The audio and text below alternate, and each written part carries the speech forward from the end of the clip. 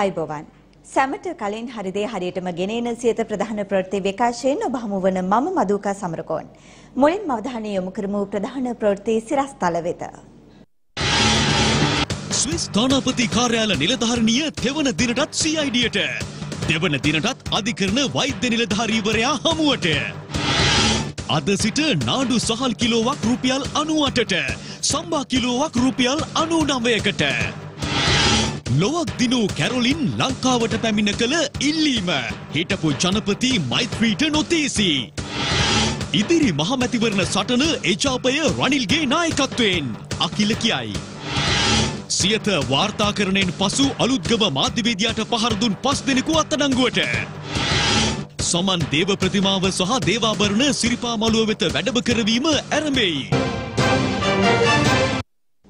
ප්‍රථමයෙන් දේශීය පුවත් උත්සව සමයේ පාරිභෝගිකයන්ට සහන මිලට සහල් ලබා දීමට මුදල් ආර්ථික ප්‍රතිපත්ති අමාත්‍යාංශය තීරණය කර තිබෙනවා.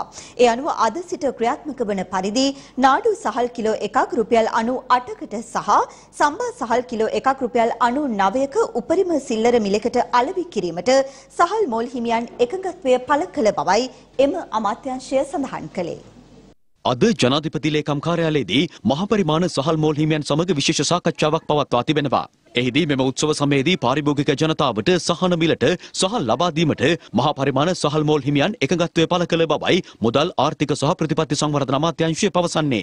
එය අනුව අද සිට ක්‍රියාත්මක වන පරිදි නාඩු සහල් කිලෝග්‍රෑම් එකක් රුපියල් 98ක උපරිම සිල්ලර මිලකටද සම්බා සහල් කිලෝග්‍රෑම් එකක් රුපියල් 99ක උපරිම සිල්ලර මිලකටද අලෙවි කිරීමට සහල් මෝල් හිමියන් එකඟත්වය පළ කර ඇති බව සඳහන්. මෙම උත්සව සමයේදී සහන මිලට සහල් ලබා දීමට මහා පරිමාණ සහල් මෝල් හිමියන්ගත් තීරණයට අනුව පාරිභෝගික ජනතාව ජනතාවට එම මිලට හිඟයකින් තොරව සහල් මිලදී ගැනීමට හැකිවනු ඇති. එ අනුව හෙට සිට සහල් මෝල් හිමියන්ගේ බෙදා හැරීම් ජාලය ඔස්සේ සහන මිලට සහල් ලබා දිය හැකි වන පරිදි සහල් බෙදා හැරීමට නියමිත බවයි මුදල් ආර්ථික සහ ප්‍රතිපත්ති සංවර්ධන අමාත්‍යාංශය නිවේදනයක් නිකුත් කරමින් පවසන්නේ.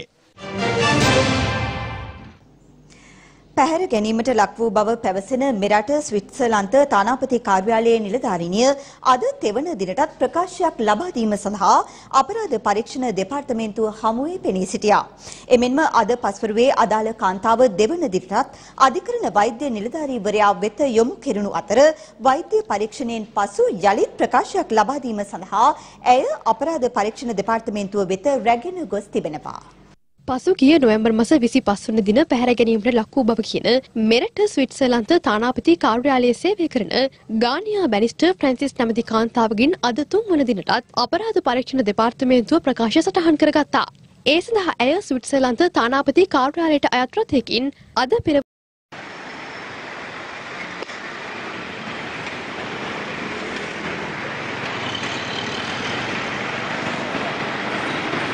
ඒ අනුව අද දිනත් පැය පහකට ආසන්න කාලයක් ඇය අපරාධ පරීක්ෂණ දෙපාර්තමේන්තුව හමුවේ ප්‍රකාශ ලබා දීමෙන් අනතුරුව ඉන් පිටව ගියා.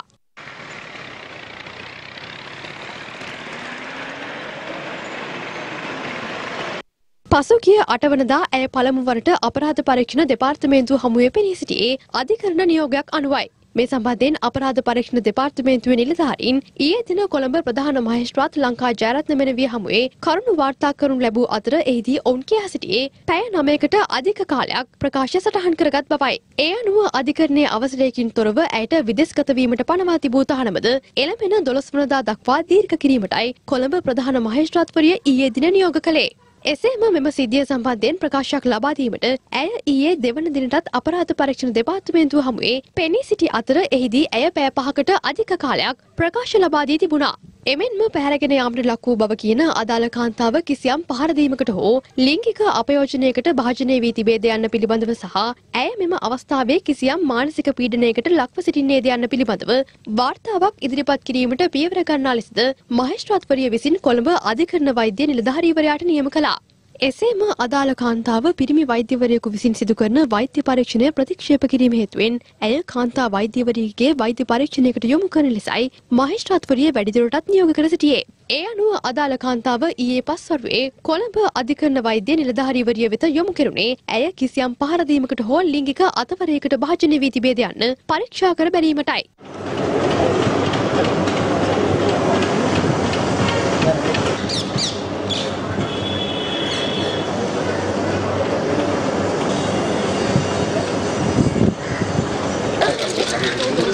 පොඩ්ඩක් හිටගෙන අපිට වාහනයට ගන්න.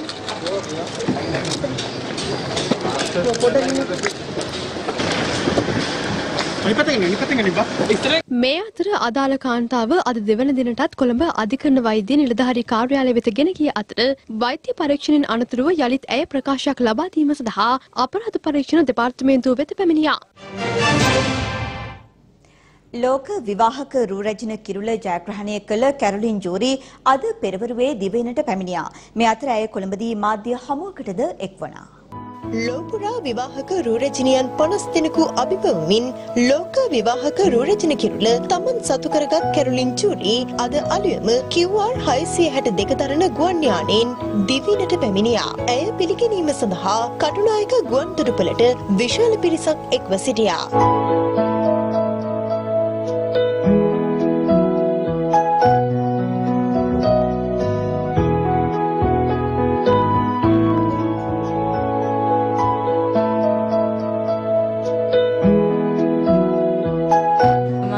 රට වෙනුවෙන් මේ ක්‍රවුන් එක අරන් ආවට after 35 years මං ඇත්තටම සතුටු වෙනවා. thank you so much ඔයගලගේ support වලට. thank you. මම ඇත්තටම මේ මා අමාරුවෙන් මාන්සි වෙලා කරපු දේ තමයි මං අද ජයග්‍රහණය රට වෙනුවෙන් කර- අරන් තියෙන ක්‍රවුන් එක මං ඒකට ගොඩක් සතුටු වෙනවා. මේ අතර දිවයිනට පැමිණි ලෝක විවාහක රූරජන වන කැරොලින් ජූරි අද කොළඹදී මාධ්‍ය හමුවකට එක්වනා. අගේ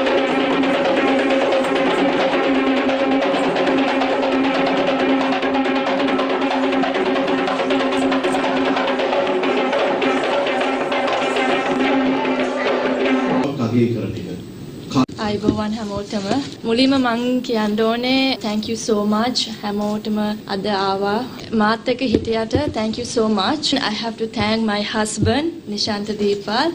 Thank you. මාව විශ්වාස කරගෙන මාව support කරගෙන හැම දෙයක්ම. Thank you Mr Chandimal.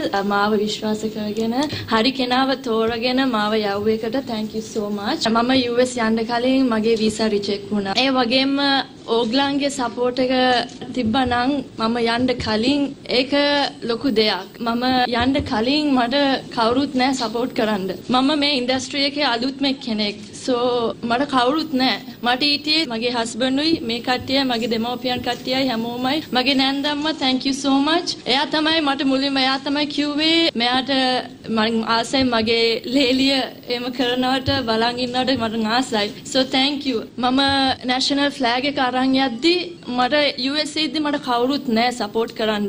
හැබැයි ඇලිස් ලී who won the Mrs World 2018 එයා මට සපෝට් කරා මට ඉගැන්නුවා ඉන්ටර්විව් එකට මට මාසයක් විතර ගියා පාඩම් කරන්න ඉන්ටර්විව් එකට. එයා ශ්‍රී ලංකා කෙනෙක් වෙන්නේ නැතුවත් එයා මට සෑහෙන්න උදව් කරා. thank you so much. ඒ වගේම මම thanks කරන්න ඕනේ මැඩම් රෝසි සේනානායක මට කතා කරලා මට විශ් කරාට ඒ වගේම ජජස්ලා හැමෝටම මම ස්තුති කරන්න ඕනේ. අපේ වියදම් අපි හොයාගෙන කරගත්තේ. මාන්සි වෙලා මේක කරා. ඒකින්ද අද මම මේ තැනට ඉන්නේ. so මගේ එකම ඉල්ලීම මම කරන්න කියන්න ඕනේ ලංකාව එක්කෙනෙක් යනවා නම් please support them because they are representing our country. So that's why my advice I can give as one people please support so please help the people who are representing our country thank you so much ඇත්තටම කියනවනම් ගොඩක් ආඩම්බර වෙනවා අපි රට වෙනුවෙන් දෙයක් කරා කියන එකට අවුරුදු 35ක් වගේ කාලයක් පැරණි මේ කිරුල අදගෙන ඒමට හැකියවීම ගැන ඇත්තටම ලාංකිකයන් විදිහට ඇත්තටම බොහොම ලොකු ආඩම්බරයක්. මිස්ටර් චන්දිමාල්ගේ පැජන්ට් එක තියෙනවා කියලා දැනගෙන තමයි අපි ඩුබායි වල ඉඳලා මෙහෙට ආවේ මේ කම්පිටිෂන් එක. ඒක ඇවිල්ලා එයාගේ හීනයක් විතරයි. එයාට තිබ්බේ පාටිසිපේට් වෙන්න මොන හරි පැජන්ට් එකකට. එතනට ආපුවම එයාට තේරුණා මං මේ මේ දේෙන් ඉදිරියට ගියොත් මං මට රට වෙනුවෙන් දෙයක් කරන්නත් පුළුවන් කියන. ඒ වගේම තව දුකක් තියෙනවා අපි ඇප්ලයි කරද්දී මේ තරඟාවලියට යන්න මෙයාට වීසා වලට ඒව ප්‍රතික්ෂේප වුණා දෙපාරක්. තුන්වෙනි පාර තමයි ඒක ලැබුණේ. ඒකත් අපි කම්පිටිෂන් එකට යද්දී දවස් දෙකක් විතර පරක්කු වෙලා. ඒ තැලිස් කිව්ව පරක්කු වුණාට කමන්නේ. ඔයා කොහොම හරි එන්න ඕනේ මේ කම්පිටිෂන් එකට. අද මෙයා US ගියේ නැත්තම් කොහොමද ඉතින් ක්‍රවුන් එකක් නැහැ මොකුත් නැහැ. අග්‍රාමාත්‍ය මහින්ද රාජපක්ෂ මහතා සහ විශේෂඥ වෛද්‍යවරුන් අතර හමුවක් අද පස්වරුවේ අරලියගහ මන්දිරයේදී පැවැත්වුණා. අග්‍රාමාත්‍ය මහින්ද රාජපක්ෂ මහතා සහ විශේෂඥ වෛද්‍යවරුන් අතර හමුවක් අද පස්වරුවේ අරලියගහ මන්දිරයේදී පැවැත්වුණා. මෙහිදී වෛද්‍ය ශේෂ්ත්‍රයේ වර්තමාන තත්ත්වය හා මහජනතාවට ගුණාත්මක සේවයක් ලබා දීමට අවශ්‍ය ඉදිරි කටයුතු පිළිබඳව වැඩි අවධානයක් යොමු කරන ලෙසටයි අග්‍රාමාත්‍යවරයා විසින් විශේෂඥ වෛද්‍යවරුන්ට උපදෙස් ලබා දුන්නේ. විශේෂඥ වෛද්‍යවරුන්ට පවතින වෘත්තීය ගැටලු සඳහා දීර්ඝකාලීන හා කෙටි කාලීන විසඳුම් පිළිබඳවද මෙහිදී සාකච්ඡාවට බඳුන් වුණා. මෙම අවස්ථාවට අග්‍රාමාත්‍ය ලේකම් ගාමිණී සෙනරත් මුදල් අමාත්‍යාංශ ලේකම් එස්.ආර් ආටිගල යන මහතුරුන් එක්ව සිටියා. මේ අතර අග්‍රාමාත්‍ය මහින්ද රාජපක්ෂ මහතා සහ එක්සත් ජාතීන්ගේ සංවර්ධන වැඩසටහනේ ශ්‍රී ලංකාවේ නියෝජිත රොබර්ට් ජුකම් මහතා සහ එක්සත් ජාතීන්ගේ ශ්‍රී ලංකාවේ නේවාසික සම්බන්ධීකාරක හැනා සිංහ මහත්මිය අතර හමුවක්ද සිදු වුණා. ශ්‍රී ලංකාව ඉහළ මානව සංවර්ධන කාණ්ඩයට අයත් බැවින් මානව සංවර්ධනයේ ජයග්‍රහණය පිළිබඳව අග්‍රාමාත්‍යවරයා මෙහිදී සිය සතුට පළ කළා. ජාතික සංවර්ධන ප්‍රමුඛතාවයන්ට අනුකූලව තිරසර සංවර්ධනයක් ළඟා කර ගැනීමට ශ්‍රී ලංකාවට උපකාර කිරීම සඳහා එක්සත් ජාතීන්ගේ නියෝජිතයින් රජය සමග අකණ්ඩව කටයුතු කිරීමට කැමැත්ත පළ කර තිබෙනවා. මෙහිදී එක්සත් ජාතීන්ගේ සංවර්ධන වැඩසටහන විසින් නිකුත් කරන ලද 2019 මානව සංවර්ධන නවතම වාර්තාවෙහි පළමු පිටපතද එක්සත් ජාතීන්ගේ නියෝජිතයින් විසින් අග්‍රාමාත්‍යවරයා වෙත පිළිගන්වා තිබෙනවා. රනිල් වික්‍රමසිංහ මහතාගේ පක්ෂ නායකත්වයේ යටතේ ඉදිරි මහමැතිවරණය තුළ එකසිය දහත්තුනක බහුතරයක් ලබා ගැනීම සඳහා කටයුතු කරමින් සිටින බව එක්සත් ජාතික පක්ෂයේ මහලේකම් පාර්ලිමේන්තු මන්ත්‍රී අකිල විරාජ් කාර්යවසම් මහතා පවසනවා. සිරිකොත පක්ෂ මූලස්ථානයේ අද පැවති මාධ්‍ය හමුවකදී ඒ මහතා මේ බව ප්‍රකාශ කළා. මිලේනියම් චැලෙන්ජ් ගිවිසුම. මේ ගිවිසුම අත්සන් කිරීම පිළිබඳව රටේ විශාල සටනක් හඬක් ගෙන ගියා. අද මම දැක්ක සමහර දේශපාලඥයෝ කියනවා මේ ආණ්ඩුවේ මේ මිලේනියම් චැලෙන්ජ් ගිවිසුම පිළිබඳව අධ්‍යයනය කරමින් යනවා. මෙහි 70ක් හොඳ දේවල් තියෙන බව පේනවා. මේ ආදී වශයෙන් කරුණු ඉදිරිපත් කරනවා අපි දැක්කා. දැන් තව ටික දවසක් යනකොට මේ මිලේනියම් චැලෙන්ජ් ගිවිසුමෙන් 90 95 100 දක්වා වැඩි වෙන්න ඉඩ තියෙනවා කියන එක අපි කියන්න ඕනේ. ඒ වගේම අපි ආණ්ඩුවෙන් අහනවා දැන් මේව අත්සන් කරන්නේ නැද්ද? ඒ නිසා අපි පැහැදිලි පැහැදිලිව කියන්න කැමති. අපි පක්ෂයක් විදිහට අපි තීරණය කරලා තියෙනවා අපි ඊළඟ පාර්ලිමේන්තු මැතිවරණයේ ජයග්‍රහණය කරන්න අවශ්‍ය සටන දෙන්න. ඊළඟ පාර්ලිමේන්තු මැතිවරණයට තව මාස කිහිපයක් තියෙනවා. අපි පක්ෂයක් විදිහට මේ සියලුම දෙනා එකතු වුණොත් සියලුම දෙනා එක හඬින් පක්ෂය ඉදිරියට ගෙන ගෙන ගියොත් අපිට පුළුවන් 113 හදන්න. ඉස්සර වගේ නෙමේ ජනතාව. දැන් වේගයෙන් ප්‍රතික්‍රියා දක්වනවා. ජනතාව බලන් ඉන්නවා මොකද්ද වෙන්නේ කියලා. ඒ නිසා මේ ආණ්ඩුවටත් ওই පාඩම උගන්වන්න අපි බලාපොරොත්තු වෙනවා. අපිට ප්‍රශ්න තිබුණා. පක්ෂයක් විදිහට ආණ්ඩුවක් විදිහට අපි පරාජයටපත් වුණත් අපි ලක්ෂ 55ක් පමණ අපේ අපේ එක්සත් ජාතික පක්ෂය පෙරමුණ නැත්තම් සජිත් ප්‍රේමදාස මැතිතුමා අපේක්ෂකතුමාට ලබා ගන්න පුළුවන්කම ලැබුණා. එක්සත් ජාතික පක්ෂය කියන්නේ හොඳ මහත්තුරුන්ගේ වැදගත් ප්‍රජාතන්ත්‍රවාදී පක්ෂයක්. මේ ප්‍රජාතන්ත්‍රවාදී පක්ෂය අපි ඉදිරියට ගෙනියන්න ඕනේ. ඒක කාටවත් ඒකට හානියක් කරන්න බෑ. ඒ නිසා මේ ඔක්කොම නායකයෝ එකතු වෙලා මේ ගමන් මාර්ගය යන්න ඕනේ. එහෙම නොවෙනවා නම් ඒ පක්ෂය පක්ෂයේ පාක්ෂිකව තේරුම් ගන්න ඕනේ මොකද්ද මේ වෙන්නේ කියලා. පක්ෂ නායකතුමා පැහැදිලිව කියලා තියෙනවා එතුමා 20 25 ඡන්ද ඉල්ලන්නේ නැහනේ. එතුමා පැහැදිලිව කියලා තියෙනවා පක්ෂයේ ඔක්කොම එකතු කරලා වැඩපිළිවෙලක් හදලා ඒ ඊළඟ මැතිවරණ ජයග්‍රහණය කරන පක්ෂයේ ඉදිරියට ගෙනෙන වැඩපිළිවෙලක් හදලා එතුමා ඒ ගන්න ඕනේ පියවරවල් ගන්නවා කියලා. අපි කමිටුවක් පත් කරලා තියෙනවා. සියලු පාර්ශ්වයන් ඒ කමිටුව කමිටුවෙන් තමයි තීරණය කරන්නේ ඊළඟ මහා මැතිවරණය කොහොමද ජයග්‍රහණය කරන්න අපි අවශ්‍ය ක්‍රමවේද. නායකයන් කෙසේ කටයුතු කළ යුතුද? මේ සියල්ල තීරණය කරන්නේ කමිටුවෙන්. ඒක අපිට දෙන්න. මහා මැතිවරණය කියන්නේ රනිල් වික්‍රමසිංහ මහත්මයාගේ නායකත්වයෙන් පක්ෂ නායකත්වයෙන් එතුමාගේ එතුමා සහ විපක්ෂ නායකතුමා දෙන්නම එකතු වෙලා මේ කටයුතු කරනවා. ඔව් පක්ෂ නායකත්වය නලින් කුසුමතුමා. අපි පැහැදිලිව කියනවා බෞද්ධ රට මේ සිංහල රට පිළිබඳව අපේ වේදනාවක් තිබෙනවා. වැඩිපුර ජනතාවක් මේ වගේම අපේ ආදරය දිනාගත් බෞද්ධ ආගමට නිගා වෙන විදියට කටයුතු කරපු කවුරු හරි ඉන්නවනම් එයාට ඉදිරි අපි මැතිවරණයේදී මම ඉල්ලීමක් කරනවා රටේම එක්සත් ජාතික පාක්ෂිකින් අනුමත කරයි අපට කොඩිවිනයක් වෙච්ච මේ පරාජයට එවැනි මැති ඇමතිවරුන්ට කිසිලෙසකින්වත් මේ රටේ නැවත නාම යෝජනා එක්සත් ජාතික පක්ෂය තුල දෙන්න එපා කියලා. ඒ විතරක් නෙමෙයි. යම් දූෂණ වංචා තිබිච්ච අය අපිට ප්‍රශ්නයක් වුණා. ඇතැම් දූෂිතයින්ට අපිට කෙලින්ම ඍජුව අපේ පක්ෂ උනත් කටයුතු කරන්න බැරි වෙච්ච එක ගැන අපි කනගාටු වෙනවා. ඒ නිසා හිතන්නට එපා නැවත ඒව දාගෙන ඒ හොද්ද හැඳිගාලි වෙලා මේ ආණ්ඩු කරන්න අපි ලෑස්ති නැහැ ඉස්සරහට. දැනට රේගුව යටතේ තියෙන රේගු පාලනයෙන් තියෙන අලුතෙන් සැලසුම් කරලා ජාත්‍යන්තර ප්‍රමිතියට අනුව ලංකාවට ගෙනල්ලා ඒ තරංකාරී මිල ගණන් වලට ගෙන්නපු ප්‍රමිතිගත කන්ටේනර් ස්කෑනර් යන්ත්‍රය අද වෙනකොට අත්හිටවල තියෙනවා. මේක දැන් මාස දෙකක් විතර වෙනවා පරිහරණයට පටන් අරගෙන මේ හරහා කරන්න පුළුවන් වන්නේ කන්ටේනර් එක ඇතුලේ තියෙන සියලුම භාණ්ඩ ස්කෑන් කරලා මොනවද ඇතුලේ තියෙන්නේ කියන කියන එක නිරීක්ෂණය කරන්න පුළුවන්. මෙහෙම තිබුණාම අපිට රටට භාණ්ඩ ඇතුළු වීමේදී මොන වගේ භාණ්ඩ දෙන්නේ? හොරබඩු වෙනවද? එතනෝල් එනවද? කුඩු වෙනවද? මත්ද්‍රව්‍ය විවිධ වර්ගයේ වෙනවද කියන සියලුම දේවල් නිරීක්ෂණය කරගන්න පුළුවන් නවීන තාක්ෂණයේ යන්ත්‍රයක් තමයි සවි කරලා තියෙන්නේ. මාස දෙකකට අධික කාලයක් මේ drive through scanner යන්ත්‍රය කන්ටේනර් රියදුරන් ඒ ස්කෑන යන්ත්‍රය තුලින් ගිහිල්ලා ස්කෑන් කරන යන්ත්‍රය ක්‍රියාත්මක වුණාම හිටි හැටි ඒම අලුතෙන් පත්වන ඇමතිවරයා නවත්වන්නේ ඇයි? අපිට බරපතල ගැටලුවක් මතුවෙනවා මෙතන. හේතුව මේ නැවැත්වීම තුල රටට එතනෝල් එන එතනෝල් කන්ටේනරේ බලන්න අවශ්‍ය වෙන්නේ නැද්ද? රටට එන කුඩු කන්ටේනරේ බලන්න අවශ්‍ය වන්නේ නැද්ද? මේ කියන බරපතල ප්‍රශ්නේ පැන නගිනවා. සිය අමාත්‍යංශයේ යටතේ පාලනය වන සියලුම ආයතන පෞද්ගලීකරණය කිරීමට කිසි විටකත් ඉඩ නොතබන බව බලශක්ති රාජ්‍ය අමාත්‍ය රෝහිත අබේගුණවර්ධන මහතා පවසනවා. ඒ අද සපුගස්කන්ද තෙල් පිරිපහදු මධ්‍යස්ථානයේ නිරීක්ෂණ චාරිකාවකට එක්වෙමින්. බලශක්තියේ රාජ්‍ය අමාත්‍ය රෝහිත අබේගුණවර්ධන මහතා අද සපුගස්කන්ද තෙල් පිරිපහදු මධ්‍යස්ථානයේ කාර්ය මණ්ඩලය මුණගැසුණා. එහිදී එම ආයතන පෞද්ගලීකරණය කිරීමට කිසි විටක ඉඩ නොදෙන බව රාජ්‍ය අමාත්‍යවරයා එහි සේවක සේවිකාවන්ට ප්‍රකාශ කළා. අපේ රජයේ ප්‍රතිපත්තිය අපේ රජයේ වැඩපිළිවෙල අනුව මම මේ බලශක්ති අමාත්‍යවරයා හැටියට කටයුතු කරන කාලය තුල කිසිසේත් මේ ආයතන පෞද්ගලීකරණය කරනවයි කියන සිතුවිල්ල අපි ඉවත් කරලා තියෙනවයි කියන එක බොහොම පැහැදිලිව තමුන්නාසයට මතක් කරන්න. තිගරු ජනාධිපතිතුමා එක්ක අගමැතිතුමා එක්ක මම ඉතා ඉක්මනින් සාකච්ඡා කරනවා මේ ආයතනයේ සතු හැම දෙයක්ම රාජ්‍ය ආයතන බවටම ඉදිරියට පවත්වාගෙන යන්නත් ඒවා ආරක්ෂා කර ගැනීමේ වැඩපිළිවෙලයි අපේ ප්‍රතිපත්තිය වෙන්නේ රජයක් හැටියට. ඉන් අනතුරුව රාජ්‍ය අමාත්‍යවරයා එම පරිසරයේ නිරීක්ෂණ චාරිකාවක නියැලුණා.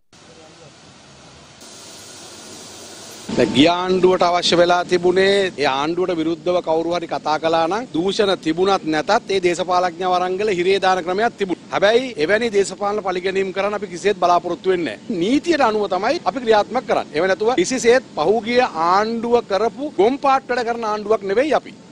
ඔබතුමා හිටපු අගමැතිතුමා කියනවා මේ ඒගොල්ලෝ නැවත හදාගෙන ඉදිරියට එන කතාව සාමාන්‍යයෙන් ඉතින් ඔය එහෙම හරි Tamanට වැරද්ද තේරිච්ච එක ගැන මම සතුටු වෙනවා. ඉතින් හැදිලා එනකොට අපි රට හදලා ඉවරයි. අපි එතකොට රට මේ රටත් මැලේසියාවක් වගේ සිංගප්පූරුවක් වගේ චීනයක් වගේ ජපානයක් වගේ වුණාට පස්සේ පස්සේ ඔය හැදිලා එනව අපිත් එක්කව කරගෙන අපිත් එක්කම වැඩේ කරන්න එක්කව කරගන්න. මහමැතිවරණය නිසකෙන්ම ජයග්‍රහණය කර ශක්තිමත් ආණ්ඩුවක් ලෙස රට සංවර්ධනය කරා ගෙනියාමට කටයුතු කරන බව රාජ්‍ය අමාත්‍ය සී.බී. රත්නායක මහතා පවසනවා. ඒ මහතා මේ බව ප්‍රකාශ කළේ නාවලපිටිය දුම්රිය ස්ථානයේ හදිසි නිරීක්ෂණ චාරිකාවකට එක්වීමෙන් අනතුරුව මාධ්‍ය වෙත අදහස් පළ කරමින්. දුම්රිය සේවා රාජ්‍ය අමාත්‍ය සී.බී. රත්නායක මහතා අද නවලපිටිය දුම්රිය ස්ථානයේ හදිසි නිරීක්ෂණ චාරිකාවක නියැලුණා.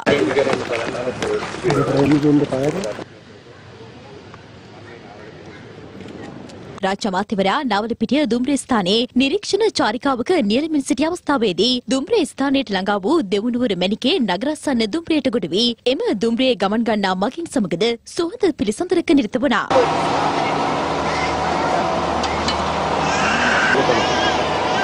මහමැතිවරණය ගැන ගැටලුවක් නෑ ජයග්‍රහණය කරනවා. ශක්තිමත් ආණ්ඩුවක් වෙනවා ශක්තිමත් ආණ්ඩුව වෙන්නේ අපි බලයට පත් කරගන්න නෙවෙයි රට හදන්න. මේක අපේ ශ්‍රී ලංකාව මේක අපේ මාතෘභූමිය මේක නැති වුණොත් අපිට යන්න තැනක් නෑ. 2020 ඉඳන් මග නවතින්නේ නැති පරක් වෙන්නේ නැති දුම්දේශයක් හම්බෙයිද 2020ම කියලා කියන්න පුළුවන් කමක් නෑ. ඉතා ඉක්මනින් පැහැදිලිව පරක්කු අවම කරන්න ලෑස්ති වෙනවා. ශිෂ්ටලන්ත තානාපති කාර්යාලයේ නිර්ධාරණය සම්බන්ධයෙන් ආందోලනාත්මක පුවතක් පැවැත්වීම ඔබතුමාගේ ඒ පිළිබඳ අදහස් බොරුව සමාජගත කරලා බලය ලබාගත් 2015 ආණ්ඩුව තවදුරටත් බොරුව සමාජගත කරනවා. එහි පුරෝගාමියෝ තමයි රාජිත ඒ වගේම චම්පිකලා වගේ කට්ටිය තාමත් ඒ පරාජය විඳ දරා ගන්න බැරුව මේ ආකාරයෙන් කටයුතු වහම් පරීක්ෂණයක් කරලා ඒ අවශ්‍ය කටයුතු කරන්න කියන එක විශේෂයෙන් සඳහන් කරන්න ඕනේ. MCC ගිවිසුම රටට අහිතකර බවට චෝදනා නැගූ වත්මන් ආණ්ඩුව එම ගිවිසුමට අත්සන් තැබීමට සූදානම් වන බව පාර්ලිමේන්තු මන්ත්‍රී චමින්ද විජේසිරි මහතා පවසනවා. ඒ අද කොළඹදී පැවති මාධ්‍ය හමුවකදී. අද 70ක ප්‍රමාණය. මේ MCC ගිවිසුම හොඳයි රටට යෝග්‍යයි රටේ අනාගතයට හොඳයි කියන තැනටපත් වෙලා තියෙනවා. අද හොඳ වෙන්නත් එදා නරක වෙන්නත් හේතුව ගෝඨාභය රාජපක්ෂ මහින්ද රාජපක්ෂ කණ්ඩායම නිවැරදි වෙලා නැහැ අදට. ඔවුන් හැදිලා නැහැ හැදෙන්නේ නැහැ කියන කාරණේ අපි පැහැදිලි දෙන නිසා MCC ගිවිසුම මේ මාසයේ අවසන් වෙන්න කලින් මේ කණ්ඩායම අත්සන් කිරීමක සූදානමක ඉන්නේ. ප්‍රතිලාභ මොනවාද කියන කාරණේ විශේෂයෙන්ම ගම්මන් පිළ මැතිතුමා, විවාල්ගිර වංශ මන්ත්‍රීතුමා, අද වර්තමාන ඇමතුමා පැහැදිලිව අපිට රටට පෙන්වා දෙනවා. විපක්ෂ නායක ධූරයට නම් කිරීමක් කරලා තියෙනවා. පත්වීම නීත්‍යානුකූල වෙන්න පාර්ලිමේන්තුව කැඳවීමක් කරන්න ඕන. මාධ්‍ය වේදීන් විදිහට ඔබතුමාලාත් ප්‍රශ්න කරන්න ඕන ආණ්ඩු පක්ෂයේ මන්ත්‍රීවරුන්ගෙන් ඇමතිවරුන්ගෙන්. ඇයි මෙච්චර කාලයක් මේ පාර්ලිමේන්තු සැසිය ඉස්සරහට අදින්? කෝවර එදා කිව්ව බඳුන්කර ඔරු ටික කන් ගැට්ටෙන් අල්ලලා ඉවරලා අපේ ආණ්ඩුවක් ආපු ගමන් දානකෝ. අද ආණ්ඩුවේ කවුරුත් කතා කරන්නේවත් නැහැ. වාර්තාව සභාගත කරන්න තියෙද්දි පාර්ලිමේන්තුව හිතුමතාම මාසයක් කල් දබවවා. ඒ නිසා අපි ගරු ජනාධිපතිතුමාට කියනවා මේ පාර්ලිමේන්තුව තව පුළුවන් නම් මෙහාට අරගෙන ඔබතුමන්ලා මේ රටේ ජනතාව බලාපොරොත්තු වෙන තැනට අරන් යනවනම් මොකද අපි බෞද්ධරේ නැති ආණ්ඩුවට අවශ්‍ය ඕනෑම සහයෝගයක් දෙන්න සූදානම්. රටේ ජනතාවගේ සුබ සිත වෙනුවෙන් සියලු දෙනා කටයුතු කළ යුතු බව ජනතා විමුක්ති පෙරමුණේ යාපනීය සංවිධායක චන්ද්‍රසේකර මහතා පවසනවා. ඒ යාපනීය ප්‍රදේශයේ පැවති මාධ්‍ය හමුවකදී. දහතුන් වන සංශෝධනය පිළිබඳව කිය කිය අපේ ඡන්දය කොල්ල කෑමට ජනතා මතය වෙනස් කරන්නට කටයුතු කරන බවක් පසුගිය කාලය පුරාම අපි දැක්කා. මේ දහතුන් වන සංශෝධනය ගෙනීමට ඉන්දියාව මැදිහත් වුණා. ඒ නිසා ඉන්දියාවට ලොකු වගකීමක් තියෙනවා මේ ගැන. යුද්ධය පැවති සමයේ හරි යුද්ධය නිමා වුණාට පස්සේ හරි ඉන්දියාව ඇවිල්ලා අපිව බේරගනි, හෙට බේරගනි, අපේ ජීවිත බේරගනි කියලා හිතුවා. ඒත් එහෙමුනේ නැහැනේ. තවත් මේ රට ඉන්දියාව ඉදිරියේ දනින් වැටෙන්න ඕන කමක් නැහැ. සැබවින්ම රටේ අභිවෘද්ධිය වෙනුවෙන් රටේ ජනතාවගේ සුබසෙත වෙනුවෙන් කටයුතු කරන්න අවශ්‍යයි. මේ 13 වන සංශෝධනය ගැන කතා කරනකොට එක දෙයක් අමතක කරන්න හොඳ නැහැ. මහමැතිවරණය වෙනකන් මේ රටේ විවිධ සංවර්ධන වැඩ කෙරෙයි. පාරවල් සුද්ධ කරයි, තීන්ත ගායි, චිත්‍රාන්දී. නමුත් එක දෙයක් අමතක කරන්න එපා. රටේ ජනතාවට අපි ඒක මතක් කරනවා. අපිට දැන් ලැබිලා තියෙන්නේ අපායේ විරාමයක කාලයක් වගේ කාල සීමාවක්. අපායේ දඬුවම් දෙන්න කලින් මුලින්ම කියනවා ඔන්න ඔබට පුළුවන් කැමති දඬුවමක් විඳින්න කියලා. හැබැයි අපායේ අර විරාම කාලය අවසන් වුණාට පස්සේ තමයි නියම දඬුවම ලැබෙන්නේ. අන්න එහෙම කාලයක් තමයි මේ ඉදිරි මැතිවරණය වෙනකන් අපේ රටේ තියෙන්නේ. අන්න ඒක මතක තියාගන්න. බණ්ඩාරවෙල මධ්‍ය මහා විද්‍යාලයේ සාමාන්‍ය පෙළ විභාගයේ ඊයේ පැවති ගණිතය දෙවන කොටස ප්‍රශ්න පත්‍රයට පෙනී සිටි සිසුන්ට ප්‍රමාණවත් පරිදි ප්‍රශ්න පත්‍ර නොලැබීම හේතුවෙන් දැඩි අපහසුතාවයකට පත්වනා. දෙදහස් දහ නමය අධ්‍යයන පොදු සහතික පත්‍ර සාමාන්‍ය පෙළ විභාගයට අදාළව ගණිත විෂය ඊයේ දින පැවැත්වුණා. විභාගය පසරු එකට පැවැත්වීමට නියමිතව තිබුණද බණ්ඩාරවිල මධ්‍ය මහා විද්‍යාලයේ සිසුන් සඳහා පැය එකහමාරක් පමණ ප්‍රශ්න පත්‍ර ලබා දීමට ප්‍රමාද වීම හේතුවෙන් විභාගයට පෙනී සිටි සිසුන් දැඩි අපහසුතාවයකට පත්ව තිබෙනවා. ඇයි පුතේ පරක් වුණේ? මේ පේපරේ වෙන මේ පේපර් අඩු කියලා දෙකමාරට තමයි පේපර්ස් ටික. පැය කීයක් තිබ්බද මේ කරේ? පැය 3යි 10යි කඩේට ඒ කියන්නේ ඔයගොල්ලෝ කොච්චරලා ඉඳගෙන හිටියද? එකට හෝල් එකට දැම්මේ පැය දෙකමාරක් හිටියා. ළමයින් 100කට අධික ප්‍රමාණයක් අ, මේ අ, අසාධාරණයට ලක් වෙලා දිනවා. හිතන්නේ බණ්ඩාරවැල මධ්‍ය මහා විද්‍යාලයට ලැබිය යුතු අ, ප්‍රශ්න පත්‍ර මං හිතන්නේ කන්ද ගැටිය විද්‍යාලයකට ගිහිල්ලා තියෙනවා කියලා. ඉතුරුට ගත්තේ ආව. අපි ශාලාවට ගත්තේ එකට එකයි එක 12 45ට පේපර් දෙනවා කියලා ගත්තා. ඊට පස්සේ ටික වෙලාවක් ගත්තී පේපර් ටික කඩලා බලලා කිව්වා මේ අපිට පේපර් මදි කියලා. ඊට පස්සේ පස්සේ අපිට පේපර් එක කොහමද දුන්නේ දෙකමාරට 2:20 විතර. අපිට ඉතින් ගොඩක් වෙලා යනවා දැන් වෙලා ගියා. හෙට පේපර් එක තියෙනවා ඒක නිසා අපිට පාඩම් ගන්නත් වෙලාවක් තියෙන්නේ. ගොඩක් අපිට ඉතින් අසාධාරණ වුණා කියලා තමයි අපි හිතන්නේ. විභාගය පැවැත්වීමට නියමිතව තිබුණේ පසරු එකට වුවත් ප්‍රශ්න පත්‍ර හිඟවීමක් හේතුවෙන් මෙලෙස පැය එකහමාරක් පමණ ප්‍රමාද වී පස්සරු දෙකයි තිහට පමණ සිසුන් සඳහා ප්‍රශ්න පත්‍ර ලබා දී ඇති බවටයි තොරතුරු වාර්තා වන්නේ. බණ්ඩාරවිල මධ්‍ය මහා විද්‍යාලයේ විභාග ශාලා පහක් පැවති අතර එක් ශාලාවක සිසු සිසුවියන් සඳහායි මෙලෙස ගණිතය දෙවන කොටස ප්‍රශ්න පත්‍රය ලබා දීමට ප්‍රමාද වී ඇත්තේ. කෙසේ වෙතත් විභාග කොමසාරිස් ජෙනරාල් සනත් පූජිත මහතාගෙන් අප කළ විමසීමකදී ඔහු සඳහන් කළේ කිසිදු සිසුවෙකුට අසාධාරණයක් නොවන අයුරින් ඊට අනුමත කාලය ලබා දී විභාගය පැවැත් වූ බවයි. මේ සම්බන්ධයෙන් විභාග දෙපාර්තමේන්තුවෙන් පරීක්ෂණයක් පවත්වන බවද සනත් පූජිත මහතා වැඩිදුරටත් සඳහන් කළා. මේ අතර මෙම සිදුවීම පිළිබඳව අධ්‍යාපන අමාත්‍ය ඩලස් අලහප්පෙරුම් මහතාගෙන්ද අප විමසීමක් සිදු කළ අතර අමාත්‍යවරයා සඳහන් කළේ මේ සම්බන්ධයෙන් අවශ්‍ය විමර්ශන කටයුතු ආරම්භ කරන බවයි. පුද්ගලින් දෙදෙනෙකු මරා දැමීමේ චෝදනාව සම්බන්ධයෙන් මරණීය දණ්ඩනය ලබා සිටි සබර්කමුව පළාත් සභාවේ හිටපු එක්සත් ජාතික පක්ෂ මන්ත්‍රී හසිත මුහන්දිරම් නැමැත්තා නිදහස් කිරීමට අභියාචනාධීකරණය නියෝග කර තිබෙනවා. අභියාචනාධීකරණ විනිසුරු කුමුදිනී මහත්මිය විසින් තීන්දුව ලබා දුන්නා. මේ අතර රොයල් පාක් මිනිමැරුම් නඩුවේ මරණීය දණ්ඩනය නියම වී පසුව හිටපු ජනාධිපති මෛත්‍රීපාල සිරිසේන මහතා විසින් සමාව ලබා දුන් ජූඩ් ශ්‍රමන්ත ජයමාන නැමැති විත්තිකරුට විදේශගත වීම වළක්වාලමින් පනවා තිබෙන තහනම් නියෝගය ජුනි මස පළමු වනදා තෙක් දීර්ඝ කිරීමට ශ්‍රේෂ්ඨාධිකරණය නියම කර තිබෙනවා.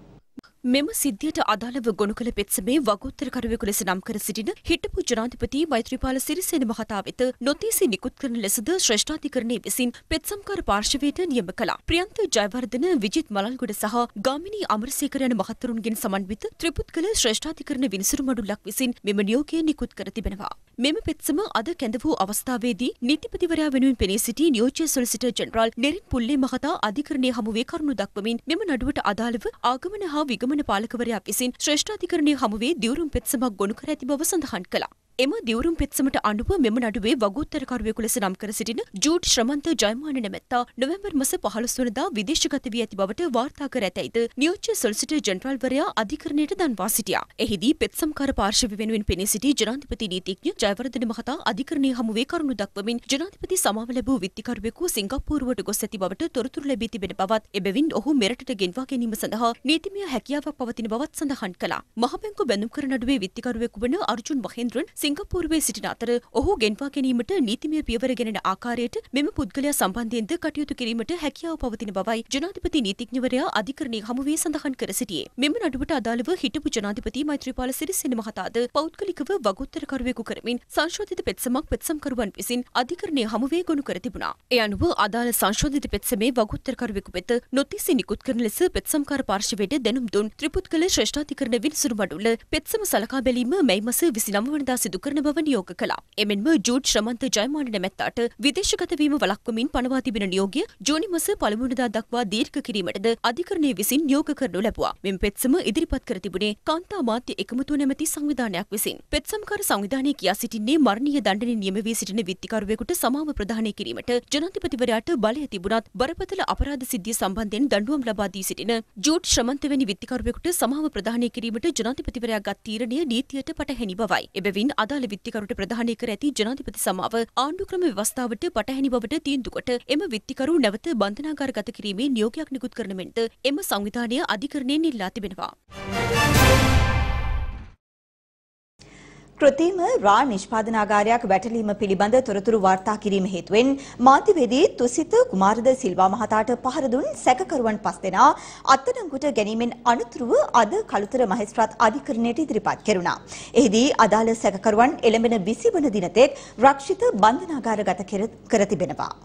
මත්පැන් මත්ද්‍රව්‍ය දුම්වැටි මේ සෑම නීති විරෝධී කටයුත්තක්ම රටකින් මුළුණුපුටා දමන්නට ඒ රටේ ආරක්ෂකංශවලට හෝ රජයට තනියම කරන්නට බැරි කාර්යයක්. ඒ සඳහා මහජනතාවගේ වගේම ඒ පිළිබඳ තොරතුරු දත් අයගේ සහයෝගය අත්‍යවශ්‍යයි. මෙලෙස කළුතර අලුත්ගම ප්‍රදේශයේ වසංගතයක් පැවති නීති විරෝධී කෘතිම රා නිෂ්පාදනාගාරයක් වැටලීම පසුගිය කාලේ සිදු වුණා. ඒ පිළිබඳව සියත ප්‍රවෘත්ති තුලින්ද නිරන්තරයෙන් තොරතුරු වාර්තා කළා. මේ වැටලීම් වලින් එම ප්‍රදේශයේ ජනතාවටත් සමස්ත රටේ ජනතාවටත් සිදුනේ විශාල සෙතක්. මෙලෙස කළුතර ප්‍රදේශයේ සිදු කරන ලද නීති විරෝධී මත්ද්‍රව්‍ය වැටලීම් පිළිබඳ තොරතුරු වාර්තා කළ මාධ්‍යවේදියෙකුට පසුගියදා ප්‍රදේශයේ මැර කණ්ඩායමක් විසින් පහර දී තිබුණා. තුසිත කුමාරද සිල්වා නම් වූ එම මාධ්‍යවේදියා සහ ඔහුගේ බිරිඳත් මෙම මැර කණ්ඩායමේ පහර කෑමට ලක් වුණා. අදාළ පහර දීමෙන් මාධ්‍යවේදියාගේ නිවසටත් අලාභහානි සිදු වුණා. මේ පුවත ප්‍රථමයෙන්ම සියත ප්‍රවෘත්ති තුලින් පසුගිය 7 වනදා අප වාර්තා කළා. එදා අපගේ ප්‍රවෘත්ති විකාශය තුළින් මෙම මැර කණ්ඩායම සතුව ඇති දේශපාලන බලපුලුවන් කාරකම් පිළිබඳව මෙන්ම මුදල් බලය අයිතු ලෙස භාවිතා කිරීම පිළිබඳව තොරතුරු වාර්තා කළා. ප්‍රදේශීය දේශපාලන අධිකාරියද බලය භාවිතා කරමින් මද්‍රව්‍ය ජාවාරම සරුවට පවත්වාගෙන යාමට වැට බඳිමින් රටේ යහපත වෙනුවෙන් සිය නොමද සේවය ඉටු කරන මාධ්‍යවේදීන් හට පහර දුන් මැර පිරිසට නීතිය ක්‍රියාත්මක කරන ලෙස බල කරමින් පසුගියදා අලුත්ගම පොලිසිය ඉදිරිපිටදී ප්‍රාදේශීය මාධ්‍යවේදීන්ගේ එකමුතුව විරෝධතාවයක්ද පවත්වනු ලැබුවා.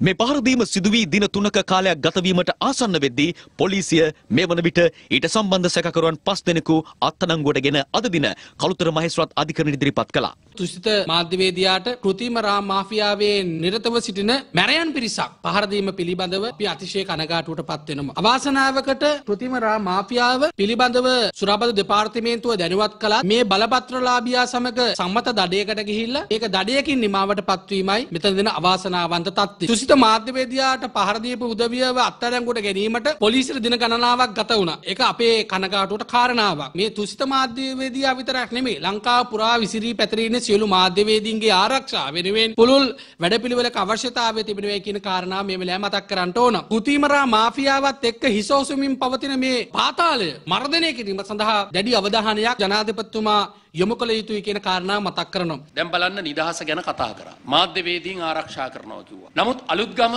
ප්‍රදේශයේ ඇතිවෙච්ච පහුගිය දවසේ මාධ්‍යවේදියාට පමණක් නොව ඔහුගේ බිරිඳට පවා පාරදීමට ලක් කළා. අද කළුතර රෝහලේ ප්‍රතිකාර ගන්නවා. මේ වන විට එය අත්තරංගුවට ගත්තේ නැහැ සැක කටයුතු අය. බලන්න නීතිගරුක සමාජයක් හදන්න කියලා මාළුවකට විශාල වශයෙන් බෙරිහන් දීපු. ඒ වගේම මැතිවරණ වේදිකාවල කතා කරපු. අද සතියක් දෙකක් තුනක් යනකොට මේ රටේ නීතිගරුක සමාජයක් හදන්න planı විශේෂයෙන්ම මේ රටේ තොරතුරු දැනගැනීම පනත වගේම මාධ්‍ය නිදහස ආරක්ෂා කරන්න කටයුතු කරපු මාධ්‍යවේදීන්ට මේ විදියට පහර දීම පිළිබඳ රජයක් කියන්නට ඕන. අපි පොලිසියට කියනවා මේ අත්අඩංගුරු ගත්තු රා මැරියෝ ටික නිසියාකාරව අධිකරණයට ඉදිරිපත් කරන්න සත්‍ය කරුණුත් එක්ක මේ සිද්ධ කරන්න උත්සාහ කරන්නේ වෙන මොනවත් නෙවෙයි නැවතත් බස්නාහිර පළාත සහ අනෙකුත් පළාත් වලට මැරයන් බිහි කරන්න හදනවාද කියලා සැකයක් තියෙනවා. තොරතුරු දැනගැනීමේ අයිතිය මිනිස්සුන්ට තියෙනවා. මැරයන්ට අපි කියනවා ඒ අයිතිය දේශපාලඥයාගේ සුදු පිරුවට ඇස්ස ඉඳගෙන කිතුල් පොල් වලින් කුරුදු පොල් වලින් ඒක සමරන්න හදන්න එපා. එහෙම වුණොත් එහෙම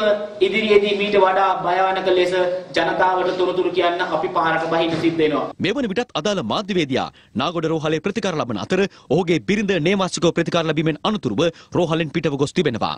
මේ අතර මත්කුඩු ග්‍රෑම් 59ක් සන්තකයේ තබා ගැනීමේ හා ජාවාරම් කිරීමේ චෝදනාවට වරදකරු වූ හේරත් මුදියන්සේලාගේ තුෂාර හෙවත් කළු තුෂාර නැමැත්තාට කොළඹ මහාධිකරණය විසින් අද මරණීය දණ්ඩනය නියම කර තිබෙනවා. මද්‍රව්‍ය ජාවාරම මැඩලීම වෙනුවෙන් රටේ සමස්ත ජනතාවගේ අවධානය යොමු ඇති වකවානුවක් තුළ එම ජාවාරම් කරුවන්ට මෙලෙස නීතියෙන් පැන යාමට ඉඩ නොදී නිසි දඬුවම් ලබා දීම මෙන්ම මද්‍රව්‍ය ජාවාරම් පිටිදැකීම වෙනුවෙන් සිය ජීවිත පවා කැප කරමින් කටයුතු කරන මාධ්‍යවේදීන් මෙන්ම ඒ වෙනුවෙන් තොරතුරු ලබා දෙන මහජනතාවද ආරක්ෂා කිරීම රජය මෙන්ම ආරක්ෂක අංශවලද අවධානය යොමු විය යුතු කරුණක් බවද සිහිපත් කළ යුතුයි. ශ්‍රීපාද වන්දනා සමය ආරම්භ කරමින් පැල්මඩුල්ල රජමහා විහාරස්ථානයේ තැන්පත් කර තිබූ සදාතුක කරඬුව සහ සමන් දේව ප්‍රතිමාව ශ්‍රීපාද උඩමළුව වෙත වැඩම කරවීම අද දින සිදු කිරීමට නියමිතයි.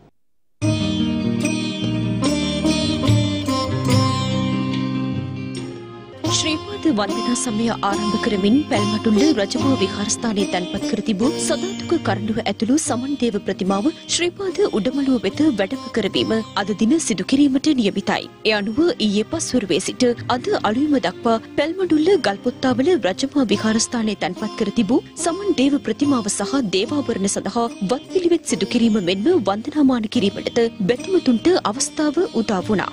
මෙම අවස්ථාවට සබරගමු පළාත් ආණ්ඩුකාර ටිකිරි කොබ්බේකඩුව මහතාද සහභාගී වී සිටියා. ශ්‍රීපාද ස්ථානාධිපති සබරගමු පළාතේ ප්‍රධාන සංඝනායක අතිපූජ්‍ය වෙංගමුවේ ධම්මදින්න නායක ස්වාමින් වහන්සේගේ අනුශාසනා පරිදි පැල්මඩුල්ල ගල්පොත්තාවල රජමා විහාරස්ථානයේ තැන්පත් කර තිබූ සදාතුග කරඬුව සමන් දේව ප්‍රතිමාව සහ දේවාභරණ අද අලුයම විශේෂ පෙරහර හතරකින් උඩමළුව වෙත වැඩම කරවීම සිදු කරනවා.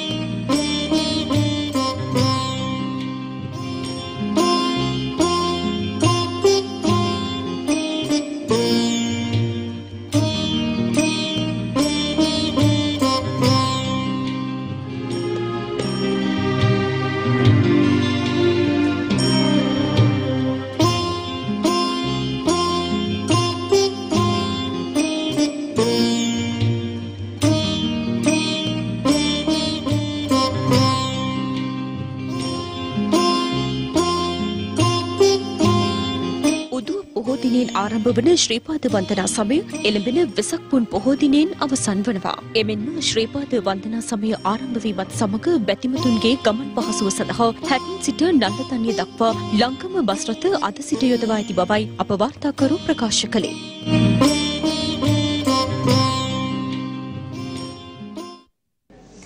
ආරක්ෂක ලේකම් විශ්‍රාමික මේජර් ජනරාල් කමල් ගුණරත්න මහතා නව යුද හමුදා මුලස්ථානයේ නිරීක්ෂණ චාරිකාවක නිරත වී තිබෙනවා.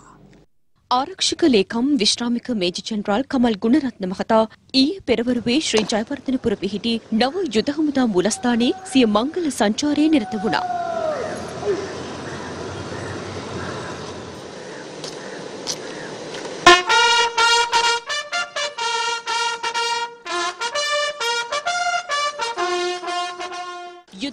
මූලස්ථානයට පැමිණි ආරක්ෂක ලේකම්වරයාට වර්ණවත් සම්මාන ආචාර පෙළපාලියේ ගෞරවාචාරය පුද කරනු ලැබුවා.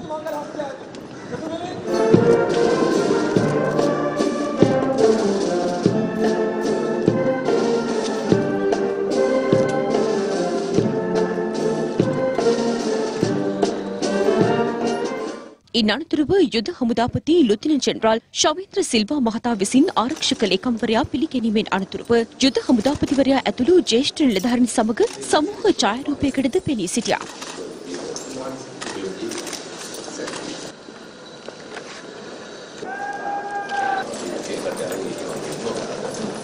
මෙහිදී සිහිවටන තිලින හුවමාරු කර ගැනීමක් සිදු කරනු අතර සමරු පොතෙහි සටහනක් තැබීමටද ආරක්ෂක ලේකම්වරයා කටයුතු කරනු ලැබුවා.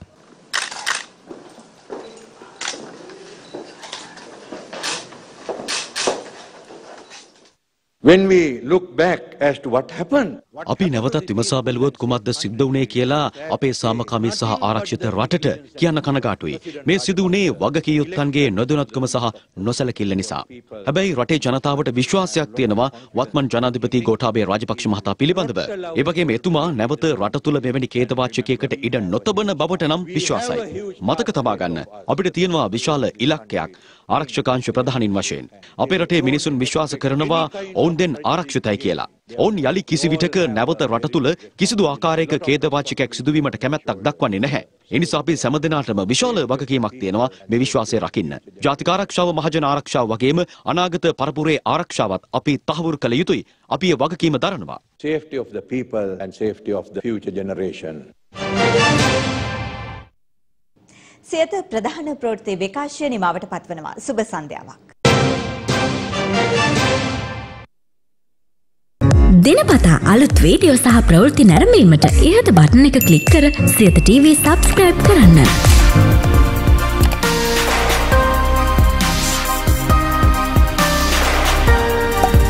අලුත් වීඩියෝ ගැන මුලින්ම දැනගන්න මෙම සීනුව ක්ලික් කරන්න.